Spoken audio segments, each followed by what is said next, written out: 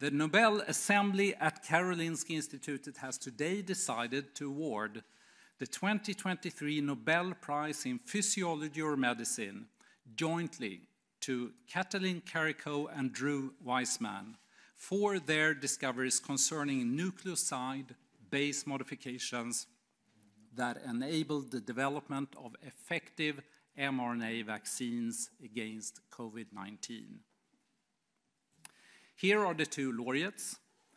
Katalin Karikó was born in 1955 in Szolnok in Hungary. She performed her prize winning studies at the University of Pennsylvania in Philadelphia in, in the United States. She is currently a professor at Szeged's University in Hungary and is also an adjunct professor at the University of Pennsylvania. Drew Weissman was born in 1959 in Lexington, Massachusetts, in the United States.